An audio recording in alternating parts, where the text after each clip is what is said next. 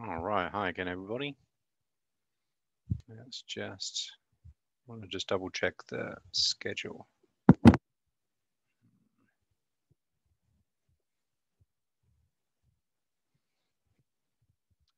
let's see what we can do.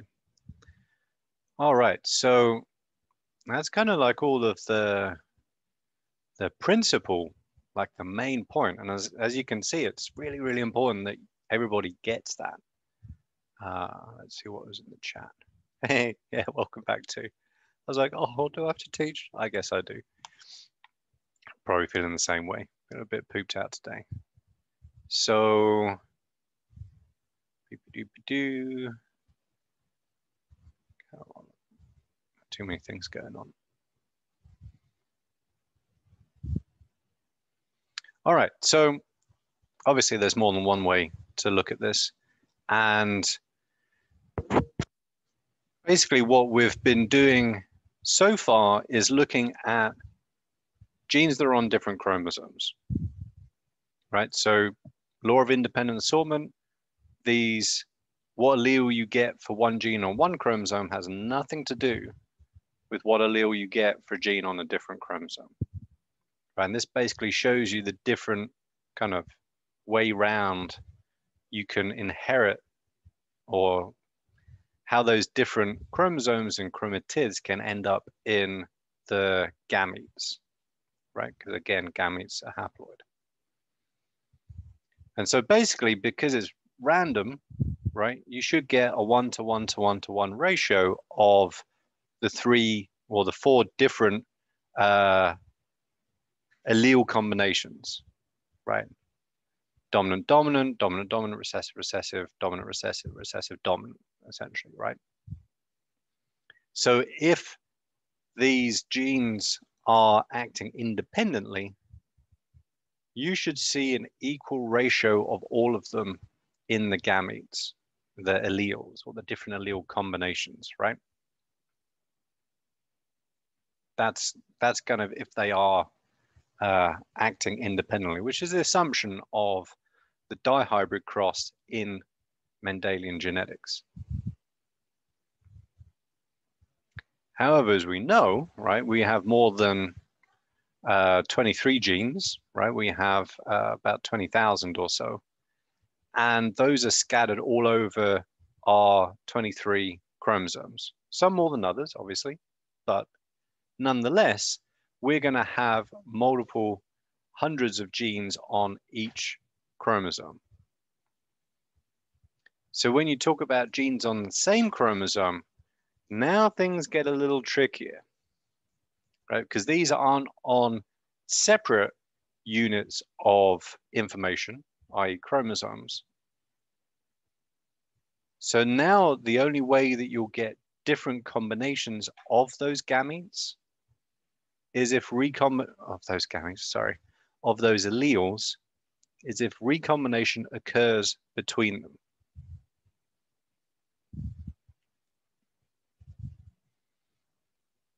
So again, here we have uh, the same deal. We've got a chromosome with two recessive alleles, chromosome with two dominant alleles. If crossing over occurs between those two genes or loci, you'll get the same, right? You'll get a uh, non-recombinant or parental. So different bit of terminology here.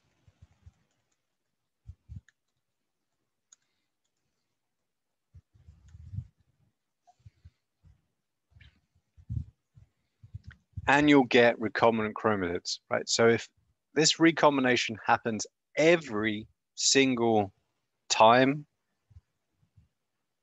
we go through meiosis, you'll always get these four different combinations. So even though they're on the same chromosome, they're so far apart, the recombination is guaranteed, like 100%, to occur between them. And so you'll get the same one to one to one to one ratio as if they were on different chromosomes. Right?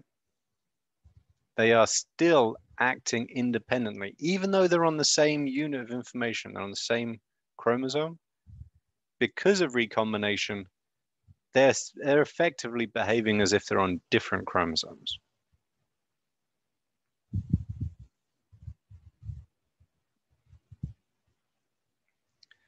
Another way of putting this is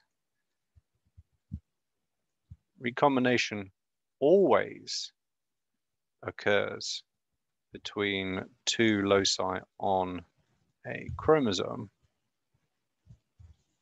or genes, kind of use that word interchangeably.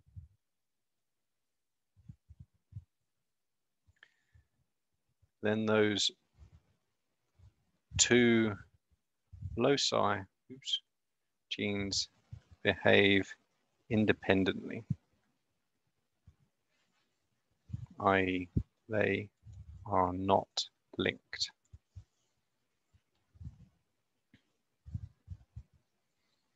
And, just keep going, you will always get uh, one, uh, not an A, one to one to one to one, oops,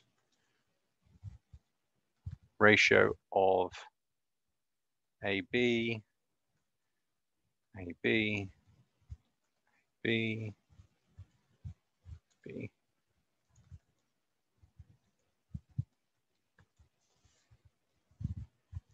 Hey, quit it.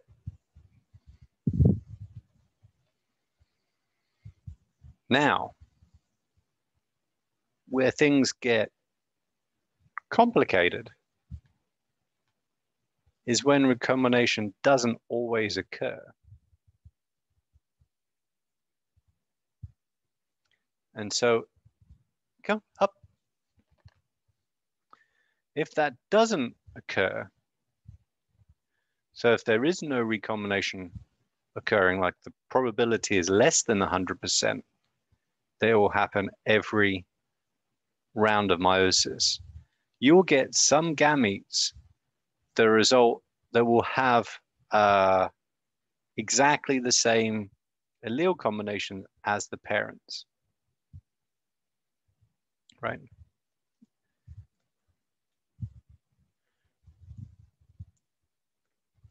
So if it doesn't always occur, in other words, two genes are close enough for this uh, random event to occur outside of them or either side, you know, is kind of another way of putting it. And it's if they're not linked, you will have that four one ratio. If they're not linked, yeah, it'll be one to one to one to one ratio. And so if, oh, doesn't, sorry, I have to forgive my spelling mistakes, then you'll get some gametes that have only, or some, probably better some rounds of meiosis that generate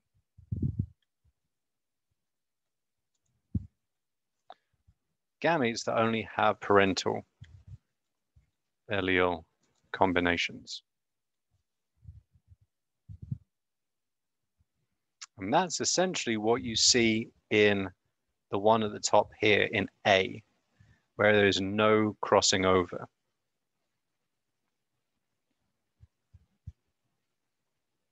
And so now what you get is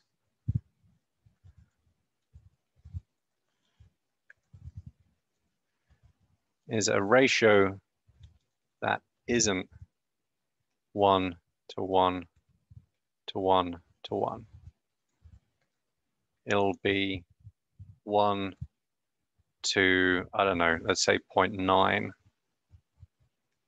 0.9, one or lower. So now you see fewer recombinants right? Fewer new combinations of gamete of alleles in the gametes than you do parentals. Right, so there will now be an excess of parentals, right? That's the characteristic of linkage. If you see fewer than expected recombinants, the two genes you're looking at are linked. Linkage is occurring.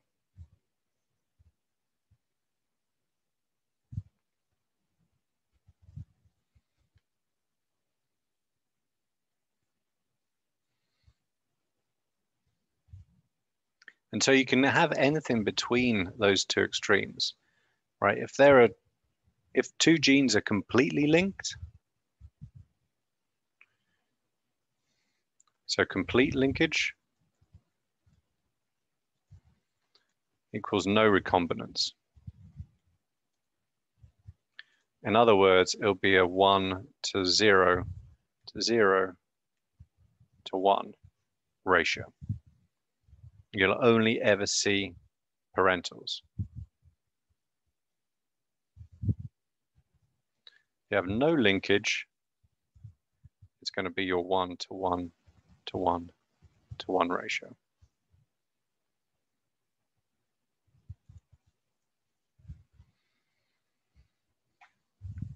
And you'll most likely get something in between.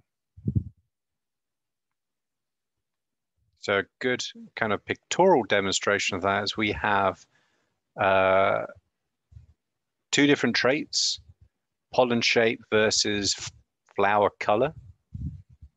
Cross those together, we get our heterozygous uh, offspring, F1s, which show the dominant trait. Oops. And then when you look at the, sorry, itchy nose when you look at the F2s, you have the four different combinations. But the numbers are not in a nine, nine to three to three to one ratio. Right? There are fewer of these non-parental combinations than you expect. Now, obviously, this isn't a one-to-one to one-to-one ratio anyway, right? Because it's a dihybrid cross, you expect a 9 to 3 to 3 to 1 ratio. But that's showing that in the gametes generated by the F1s, we do not have an equal number of allele combinations in the gametes. We're missing most of the recombinant combinations.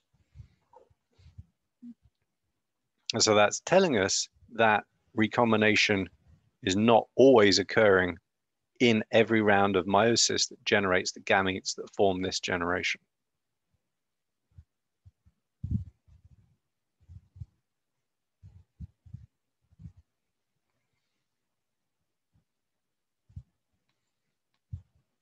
And we can come back and do some numbers on that in a little bit.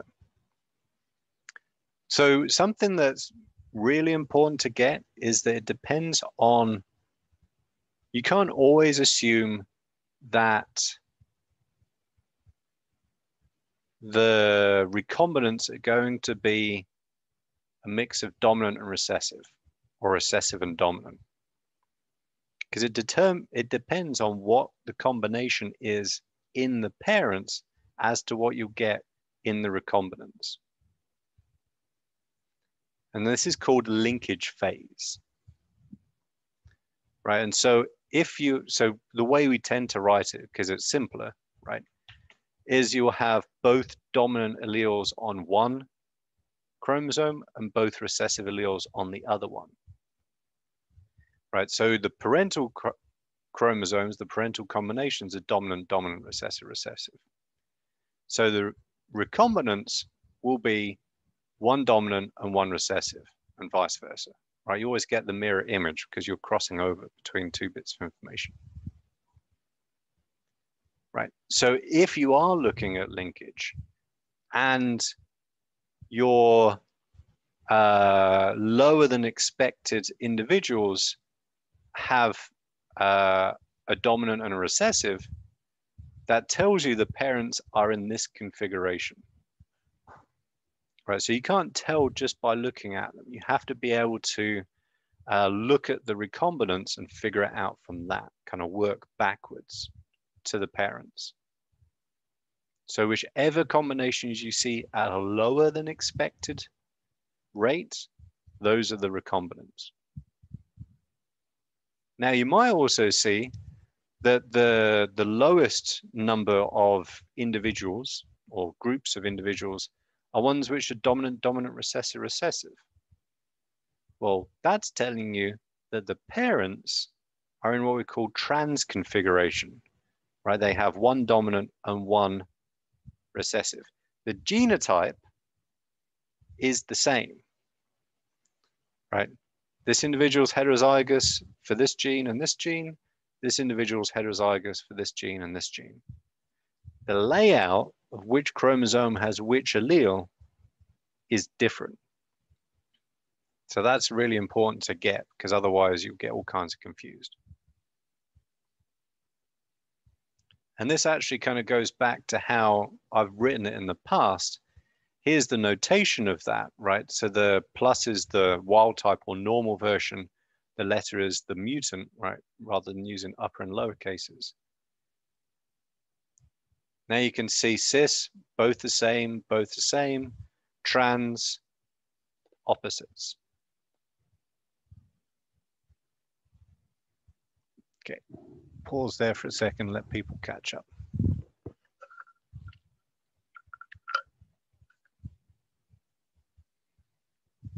Okay, questions? Get my ever disappearing chat box back.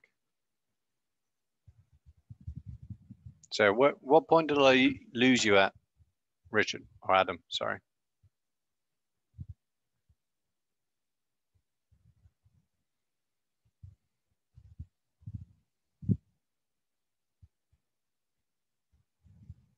Okay, is there anything you want me to go over?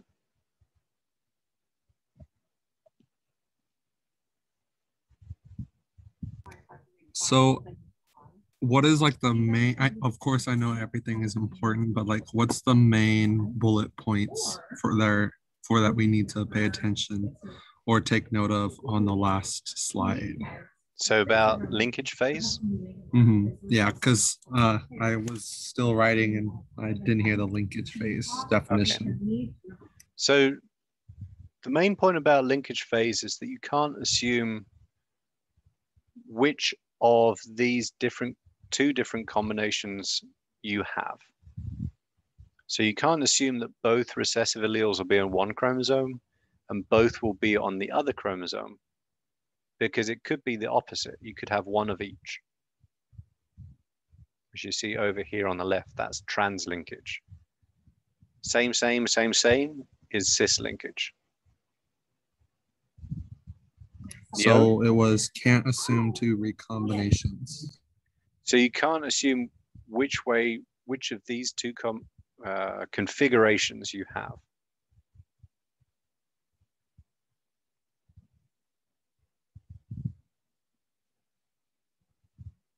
you can only figure out linkage phase from looking at what combinations the recombinants have. So recombinants will always have the lowest uh, frequency, right? Because recombination isn't always happening, hence they're linked. And so what combinations or configurations you have in the rec recombinants tells you what linkage phase the parents were in or what linkage phase the, the, the two genes are in.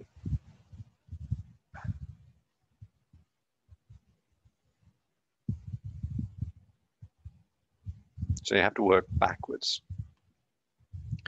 So for example, if you get recombinants the lowest frequency of the the different combinations that are dominant, dominant, recessive, recessive, that tells you that the parents uh, or the parental allele combinations were in trans configuration. Where you have one dominant and one recessive on each chromosome.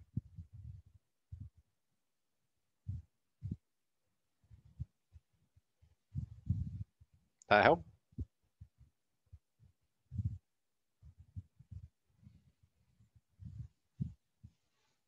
Cool.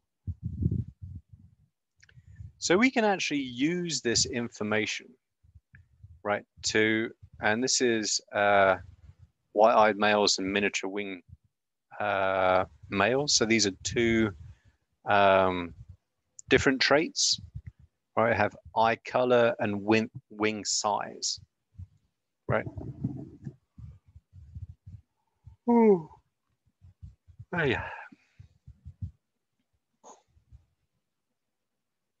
So before we get any further in the heterozygote, right, which is the F1 generation, what configuration are the alleles in? If you look at that picture.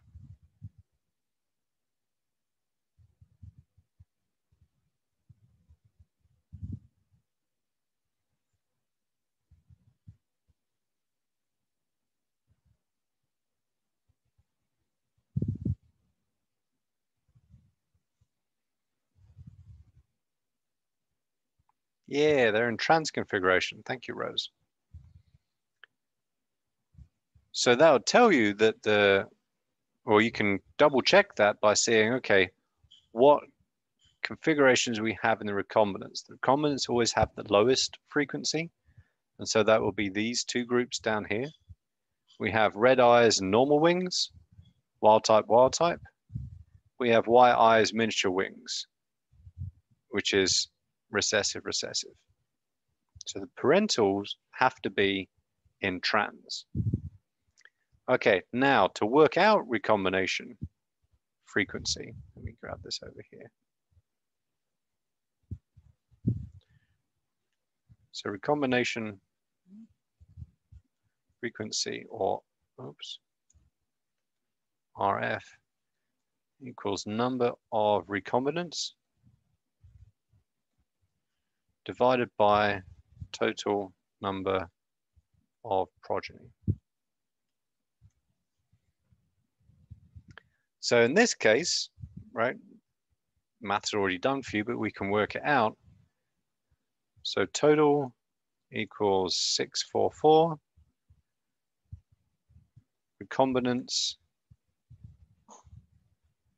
which are the two at the bottom, right? Because they have combinations that we do not see in the parents, which are wild type recessive and recessive wild type.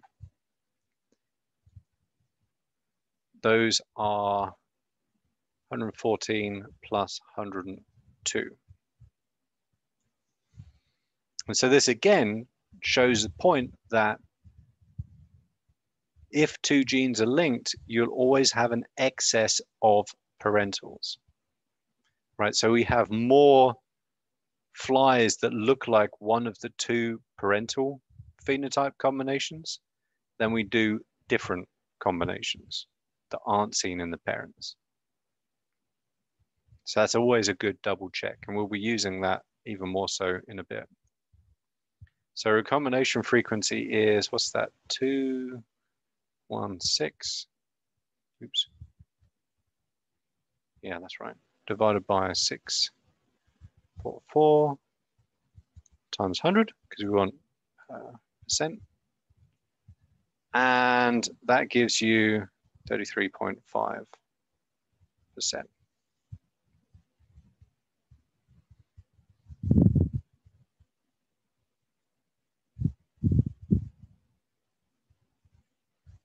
So mathematically speaking, if recombination frequency is 33.5%, what frequency would you expect of one of the recombinant offspring, say the red eyes and normal wings? What frequency would you expect? Not necessarily what you get, but what you expect.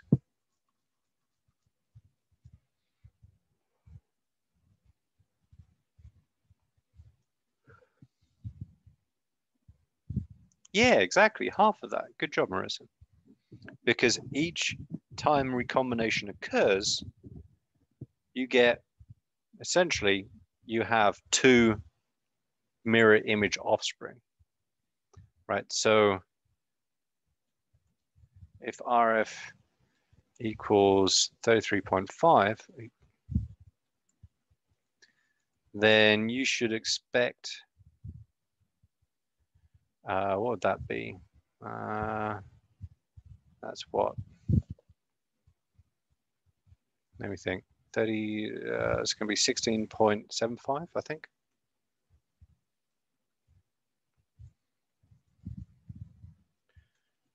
To have red eyes and normal wings.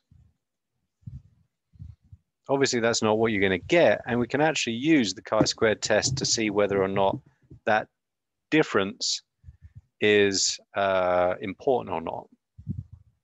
Right, so that's another example of how we can use chi-squared test.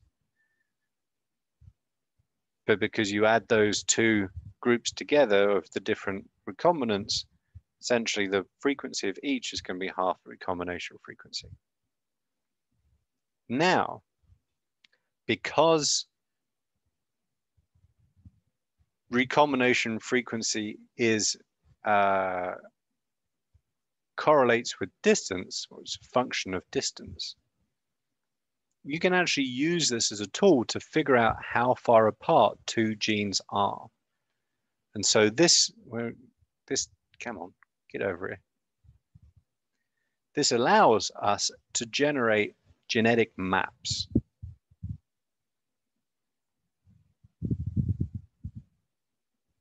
Right, and so we can use, and it doesn't necessarily have to rely on genes. Ooh, sorry. As long as you have two points that you can distinguish in the offspring, whether visibly or maybe even molecularly by PCR or whatever, or refragment, restriction fragment length polymorphisms or doesn't matter. As long as you can distinguish between the different combinations, you can work out genetic distance right, called a map distance. And essentially this is, uh, this generates a, a linkage group, right? So linkage groups are really genes that essentially are on the same chromosome, right? Because depending on how you do the, the experiment, you will find that different points, you know, within that chromosome are linked, right? So recombination doesn't always occur between them. And essentially, each chromosome is a linkage group. So we have 23 different linkage groups. Okay, so now what I'm going to do is we're going to spend some time uh, going through two-point cross examples. Actually, let's let's go back up here. Let's try and figure out how far apart are our uh, oh actually is that going to work? Let's think. No that's not going to work. Let's not do that. Let's use this one we could do that but the fact that it's a dihybrid cross kind of complicates things a little bit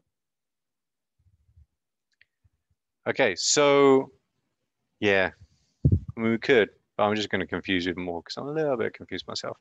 Right, so essentially what you're looking at here is a back cross. So if you remember from last lab, when we introduced the principles of the fly uh, linkage project, this is exactly the same kind of cross, right? And so the reason why I kind of owned and odd about using the previous data is because that's not actually the best way to work out uh, map distances or linkage, right? Ideally, you want to just see the effect of recombination in one of the parents. You don't want to worry about recombination occurring in the other parent. And so this is actually really quite easy to do when you're dealing with an X-linked uh, trait, such as white eyes and uh, diminutive males, which is kind of cute. They're really tiny little male flies. And so the principles are the same. If you kind of, let's, uh, let me put jerk mode on. Right, so I don't know if you're like being on the ball and looking at that, but now you can't. well, actually you can, you just have to download the PowerPoint off of Blackboard. It's the same deal. So, which are the recombinants?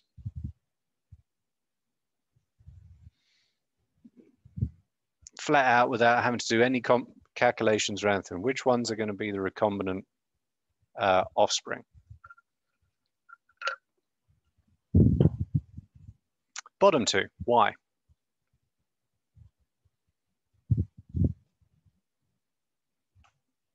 Correct.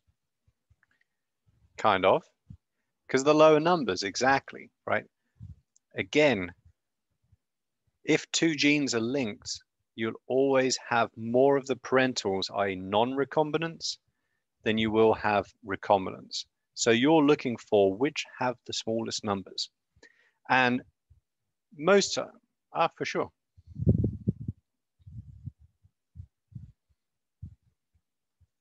Smallest numbers are the recombinants. Pardon me.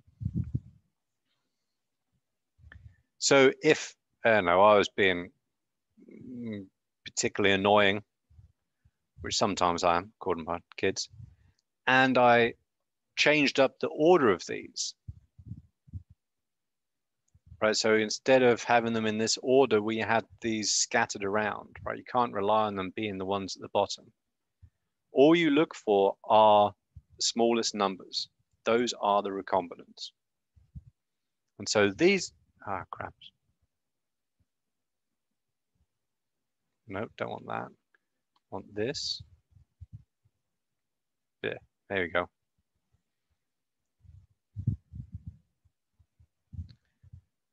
So that's what you look for. And this is even more important when we look at three-point crosses. So this gets more complicated than this. And so what you do is you RF frequency or map distance, which is kind of the same thing. Well, it is the same thing. It's not the same as physical distance. Equals number of recombinants Ah.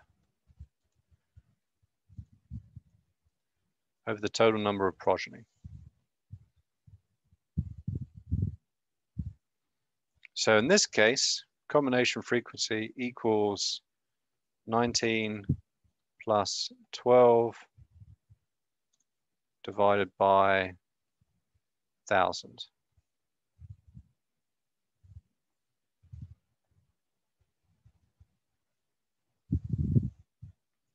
times 100, obviously.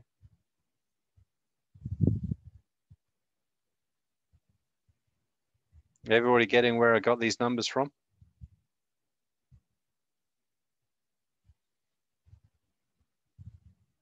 Um, sir, do you mind like centering the box so it's like kind of like where it's not blocking anything? Aha, no. I will unblock stuff in a moment.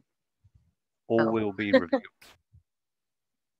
Oh, I see what you're doing now. You're just showing us the 1912. Okay, yeah. Yeah, yeah, I'm being a bit of a jerk, so I'm not actually showing you the answers. I'm kind of making you think through it, and then I'll show you the answers. So recombination frequency is, what's that? Oh, it's actually really easy to work out. A uh, geneticist after my own heart. Times 100 equals 3.1%.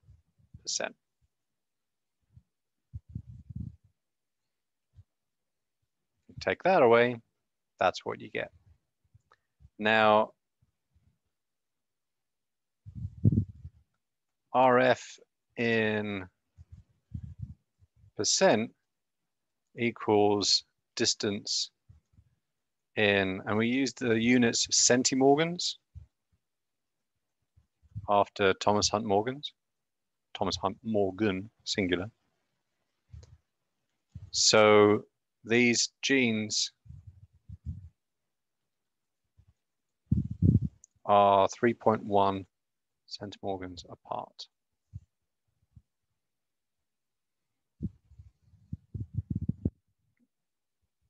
Now just get rid of that one. Ta-da!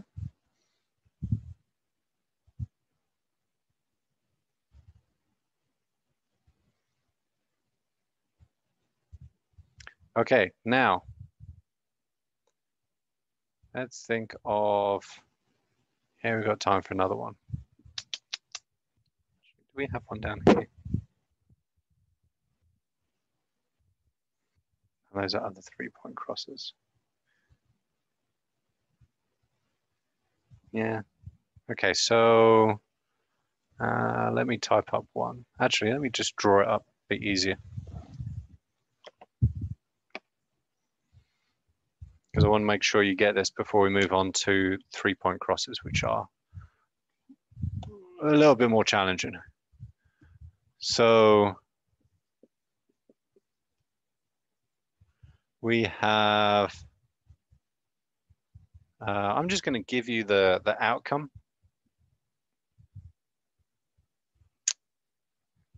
What can we use?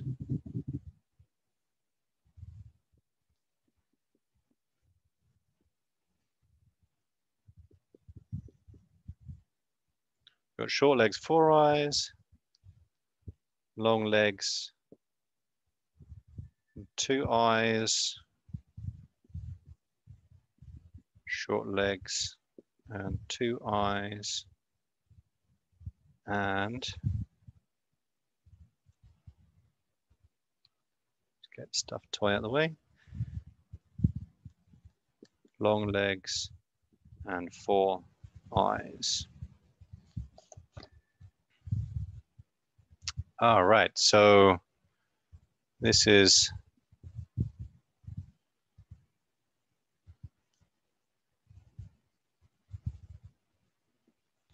basically the, the, the alleles that we're talking about.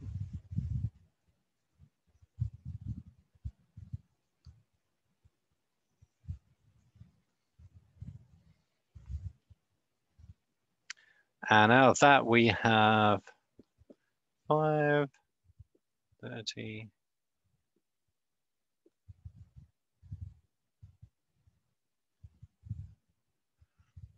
Okay. What's the distance between the the leg gene and the eye gene?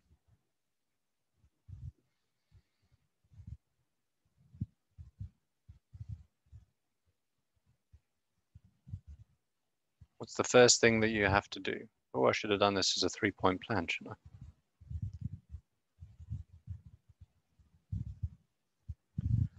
What's the total? I'll take pictures of this and post it up on Blackboard so you don't have to worry about copying all this down.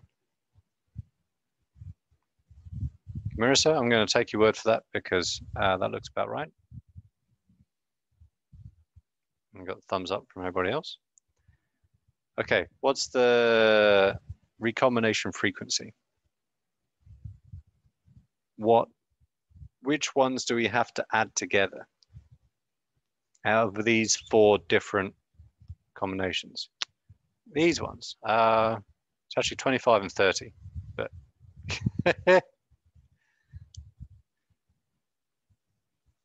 these are your recombinants.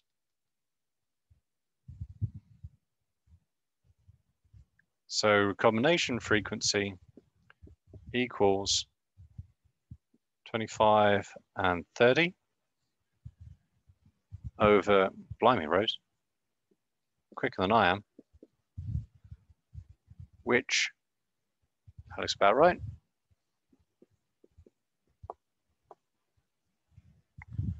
which is 10.76%.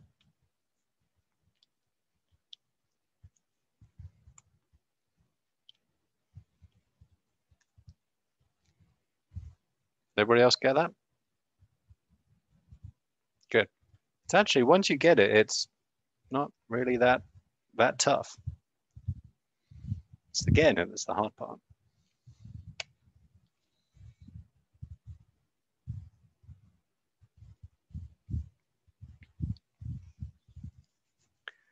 Now, what they did, has everybody got what they need from that? Exactly, Valeria. Uh, Valeria?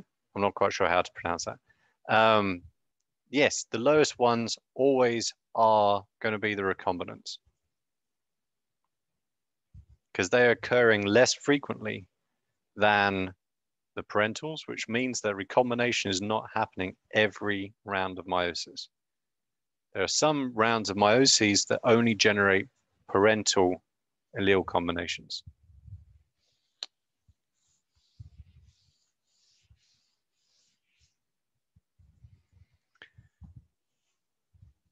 Oh, and if you ever need me to stop the sharing so that uh, the screen's bigger, let me know because I often forget, for example, just now. Now, you can do a whole bunch of these which is originally how uh, the X chromosome of flies was mapped by Thomas Hunt Morgan and Paul or Peter Sturtevant. I can't remember his first name. Again with a P.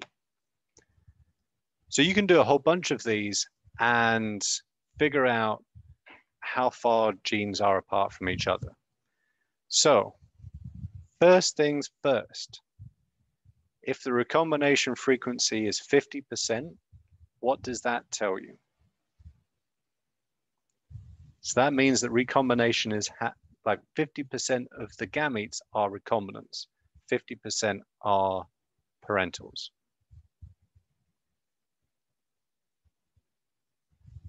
What does that tell you? They aren't linked exactly, right? So if you look at this, which gene is, or which letter, right, is far, far, far away from the others.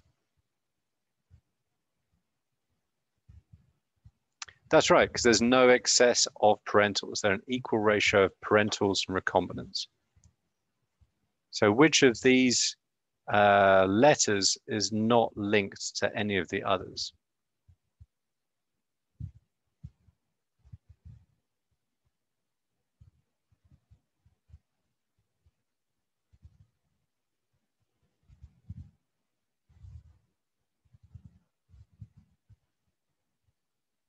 have a look. Which, no, we don't really care too much about recessive versus dominant. It's just a tool to work out allele combinations. What we care about are distances. And distance equals recombination frequency.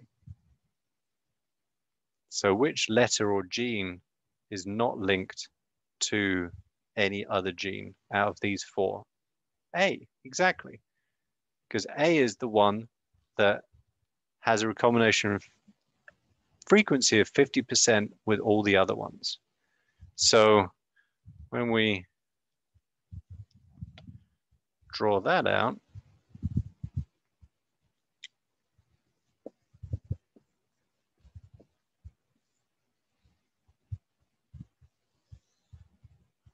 I'm going to do a left to right just because, you know, I'm write English or you know a Latinate language, and so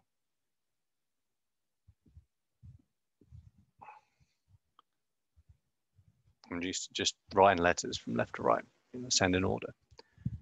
So from here to here,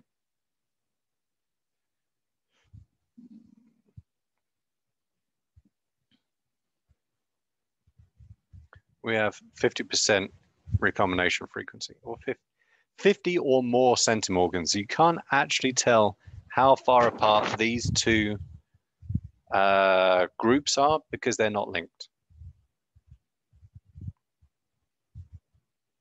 They could be just 50 centimorgans apart. They could be at complete opposite ends of the chromosome. Got no way of knowing. We can get into how you can answer that in a little bit. Now, what order are these three genes in? B, C, and D. How far apart are they? And which one's in the middle?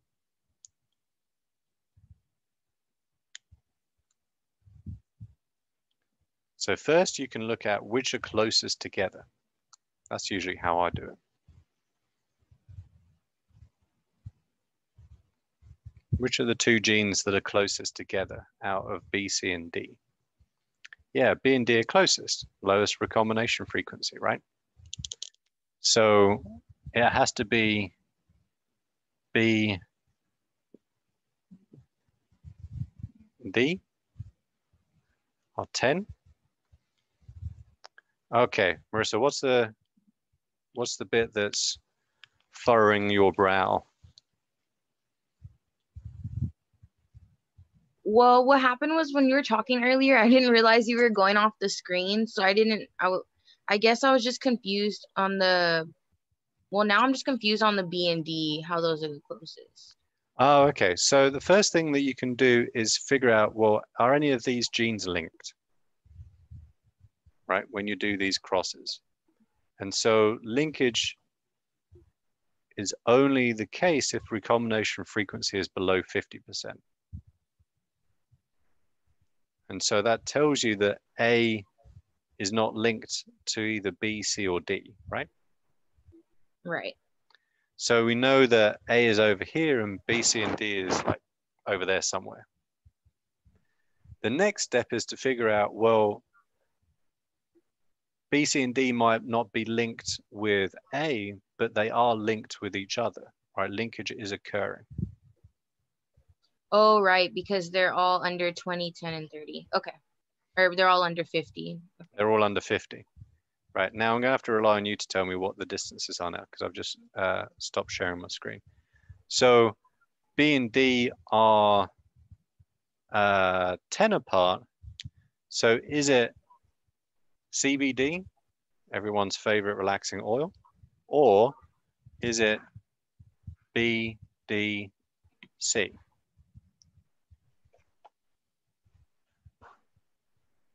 How can you figure it out? Okay, well, we're not going to guess, we're going to work it out. So what's the difference, what's the distance, sorry, between C and B? You're going to have to tell me because I can't see it.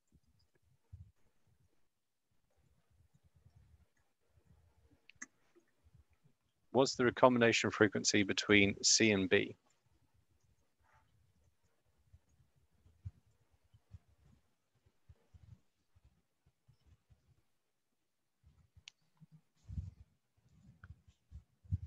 Twenty.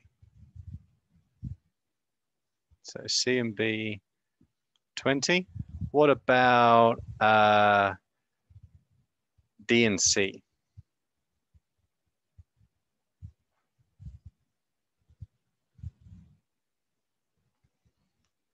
What's the distance between D and C?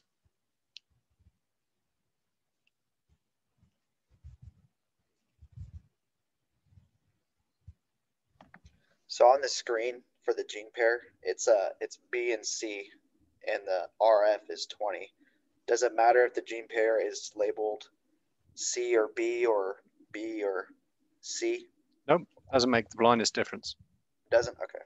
Nope, because when you just have these two together and that information alone, you don't know which way round it is. You only know their relative position to each other. Okay. So what about B and D or D and B? Oh, B and D is 10, and then C C and D is 30. Oh, I already got B and D out there. That's what I meant to ask. Yeah. You're probably going, what? We already gave that to him. Were you being dense, professor, or something? Okay. There you go. Awesome. Now I just got them written up here. That'll make life easier. Okay, so if B and D is 10 and C and D is 30,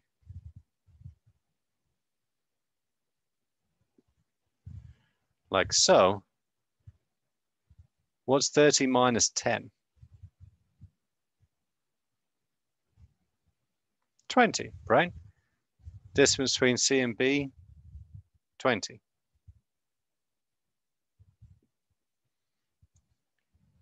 Now to double check this, okay, let's do it again. B and D is 10. B and C is 20. Ah, you're missing that because my lap, laptop kind of thing. So if this gene order was correct, what would the difference distance between D and C be? 20 minus 10? It would be 10, right? It's not, it's 30. So this tells you that C and D out of these three are the furthest two apart. So the other one must be in the middle. That's B. So this is wrong, right? Ruled that out. Let's just, I'm gonna get rid of these because I don't want these up anymore. Now, so that's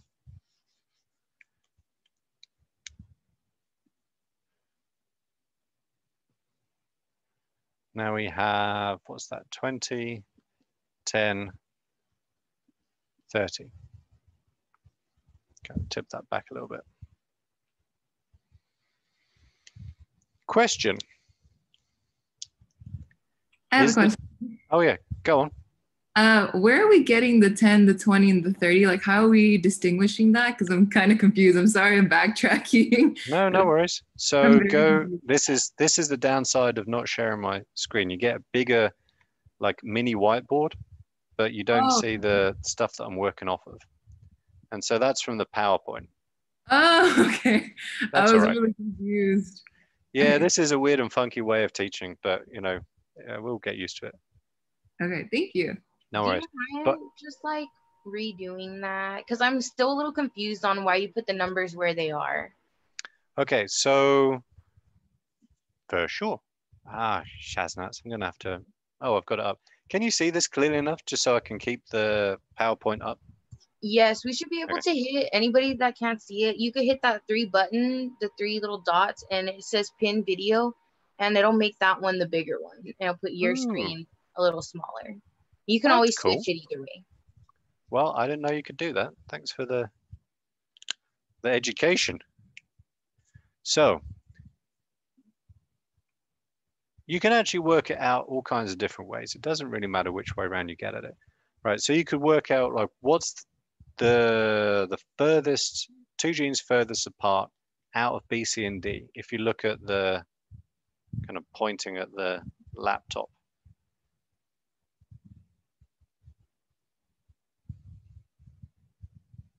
The C and D are the farthest, are they? Because it's 30. Correct. Yeah, because the recombination frequency is the highest while still being lower than 50. Right, so they are linked, but they're kind of less linked, right? Their linkage is lower because the recombination frequency is higher. Okay. Right? So if you put C and D like so, then obviously B has to be in the middle, right? Because if C and D are the furthest apart, then B and D or C and B have to be closer. Does that make sense? Yes, that does make sense. Yeah. So you can work it out all kinds of different ways. It, it whatever makes the most sense to you is is fine by me. And then you just put in the numbers so we know off of the PowerPoint B and D are 10. And so even if we didn't know how far apart C and B are, we could work it out. Because it would be 30 minus 10, which is 20. But we actually worked it out by doing the cross. Okay. So it looks like that. Now, here's a not really a tricky question, but here's an interesting question. Do we know that it is A, C, B, and D in that order?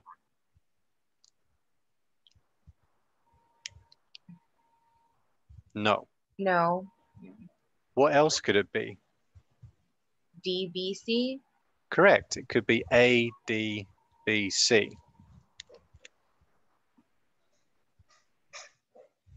Both would be correct with the data that we have.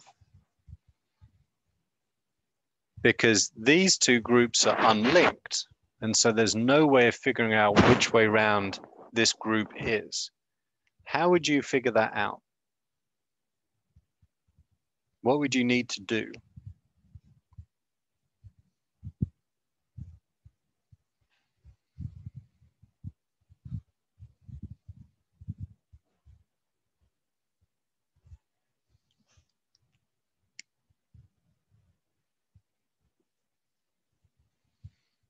You would need another gene or locus between these two that would be linked to both groups.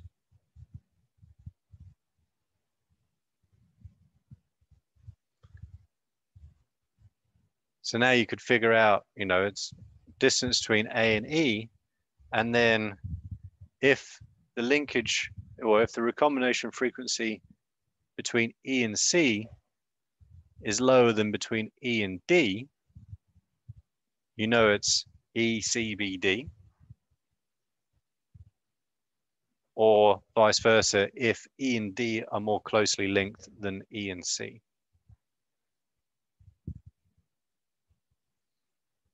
Where would we get that from? The E.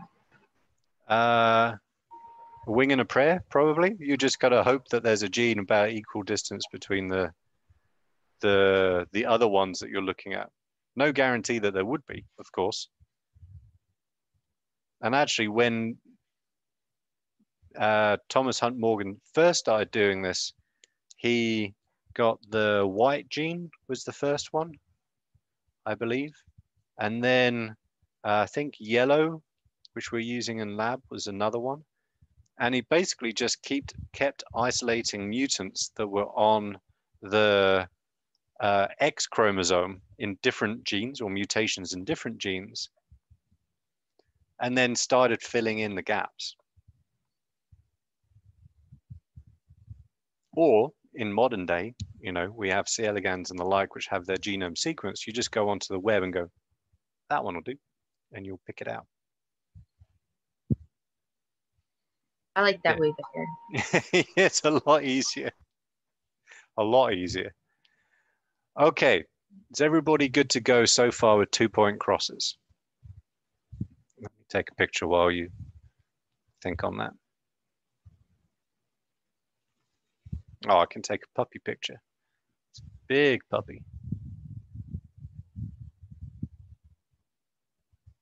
So I did promise I'll post a puppy picture per day.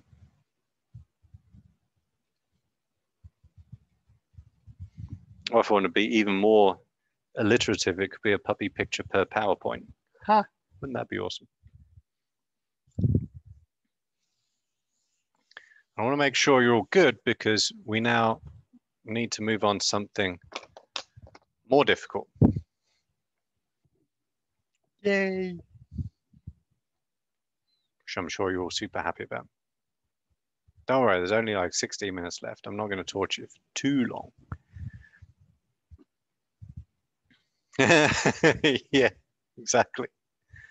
So, two issues with doing a two point cross or a bunch of them. One, it takes ages, right? You have to do each pair of genes separately. So it's just tedious. And no one wants tediousness or tediosity, whatever the word would be. Second, and arguably more important concern, because you know, research is kind of tedious inherently in some cases, and that's what you have PhD students and master students to do. Anyway, the second problem is the important one. So the second problem is you miss double crossover events.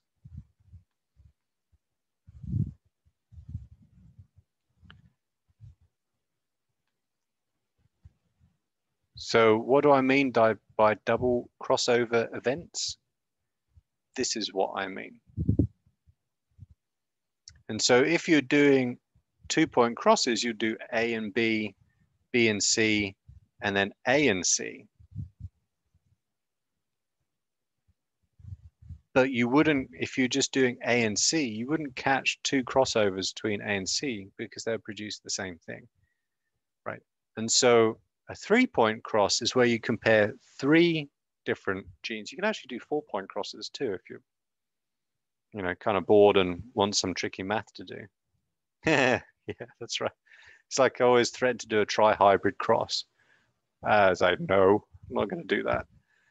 Anyway, so a three-point cross takes three different genes or loci. And essentially what you're going to have now is you're going to have four categories. You're going to have, oh, let's write this down. So three point cross course equals four categories. One, most common equals what? What are you going to find the most of in any linkage experiment? Otherwise, there wouldn't be linkage. What would be most common? Yeah, the parentals. So first category would be most common. Then you'll have second category will be uh, crossover between A and B in this case. Third equals crossover between B and C. And fourth equals double crossover.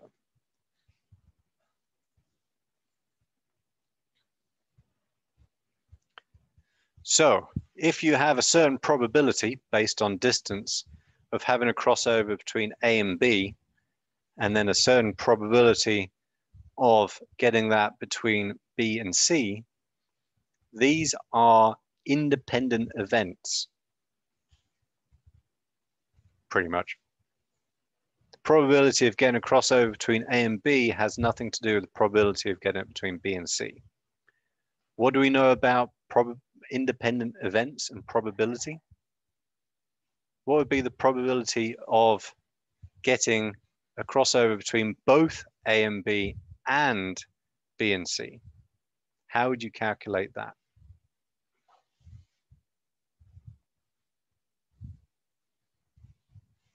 You're probably thinking, oh, I don't need to know this. Those are the first section. Tough. This is called building up stuff. Right, you'd multiply the individual probabilities together. Okay, so yeah, totally, Rose. So which combination out of those four, which category, first, second, third, or fourth, would you expect to find the fewest of?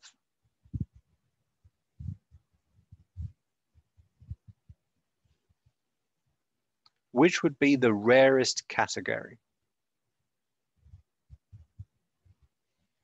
Number four, right? Because if you have a probability of crossover between A and B is like one tenth, between B and C is one tenth, probability again, both of those, one tenth by a tenth is going to be a hundredth, right? So if you look at a thousand individuals, only 10 of them will be double crossovers. And so this gets me to, and we're not going to have time to go through examples here uh, because we've only got 10 minutes left. So I want to tell you my, I think it's a three point plan. I don't know, might be a four point plan. You know, I tell you, always have like these plans for work. Matt's slow and steady way of, you know, catching the rabbit or whatever you would call it. Oh, it's got to be Dr. Matt, actually like that doctor out of The Simpsons. Simpsons, forgot what his name is.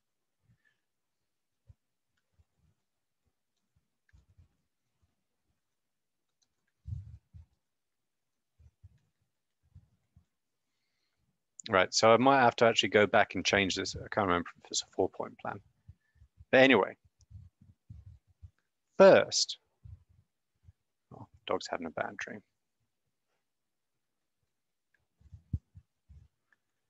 find the double recombinants. Yeah, patent pending. That's probably probably a good good way of putting it. Put a little after it. So the first thing to do is find the double recombinants. So when you look at a three-point cross, like this one, it looks bloody awful. Hugely complicated. Okay, so the reason why you get the double crossovers first or double recombinants is second, that tells you the gene order.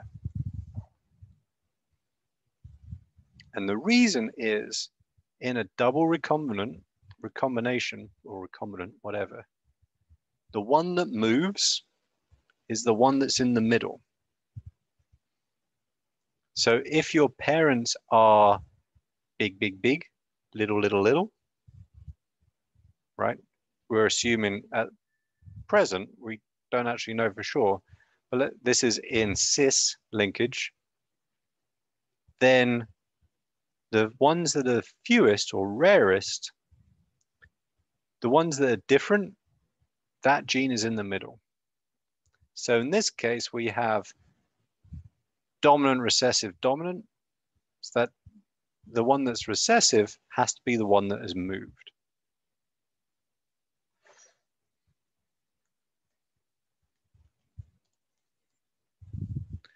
Basically, the allele that moves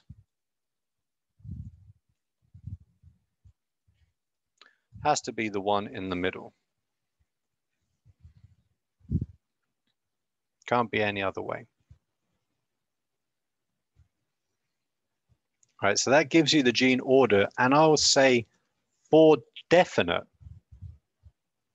you cannot assume that the order that you're given is the correct one. This order here, I actually think that's uh, wrong, but we could work it out. We'll have to do this on Tuesday.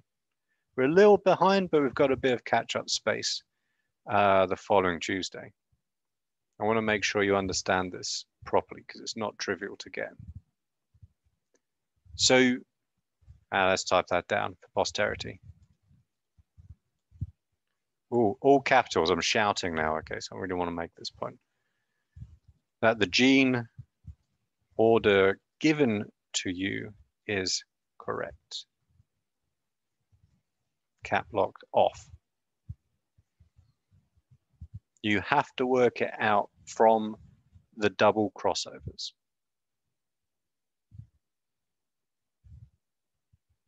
Actually, I think, yeah, this is a four point plan. Sorry.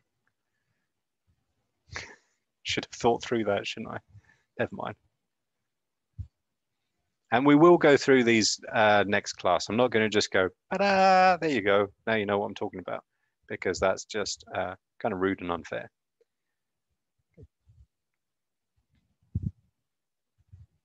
So third,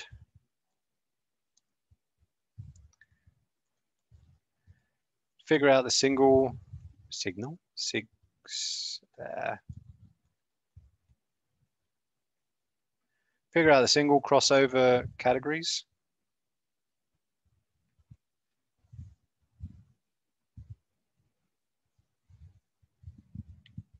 Actually, this might be a five point plan. This expands every time I teach this, right? These would, should have roughly similar numbers. So that's like a kind of a shorthand way of uh, doing it. It's not super accurate, but it will get you close enough and then you can check. So for example, in this one, we're looking at the PowerPoint slide now. You've got a group which is 33 and 40 and a group that's 59 and 44. Right, so you got to double check because otherwise you go, oh, 44 and 40, those numbers are close together. You would be wrong. Okay, so you look at this and you go, okay, the second one from the bottom is dominant, recessive, recessive. So its opposite, its reciprocal or mirror image, I guess you could say, is going to be recessive, dominant, dominant. Which one of these is that? Okay, so we've got recessive, dominant, dominant up here. So lazy and glossy and sugary, I don't know who thought this up. But anyway, those two are reciprocals. They are part of the same single crossover event.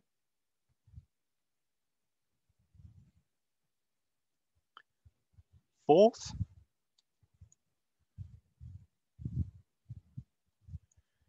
work out recombination frequencies. But there's a catch. The recombination frequency between, get up back here, A and B is not just the frequency of these recombinants, right, that generate, are generated by a crossover event here. Where else do we see recombination between A and B? Not just in this one on the left labeled A, but where else? Where else is there recombination? C, exactly, right? Even though there's also, yeah, the double crossover, even though there's also a recombination between B and C, we don't care about that. For calculating the distance between A and B, we care about all of the crossovers between A and B. That's why the three-point cross is more accurate. So, RF between A and B, oops, equals number of AB crossovers plus number of double crossovers over total number of progeny.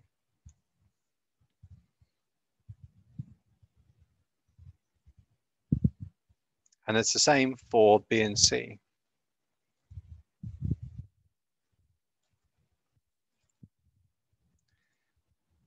So that's the number of BC crossovers or recombinants. Plus number of double crossovers divided by total number of progeny. And then the fifth part equals draw a pretty. That's easy. What was the catch again? oh, taking genetics, I guess. Um, the catch, go back now. Ah, yeah. The catch is you can't forget the double crossovers. Or to put it better, the double crossovers.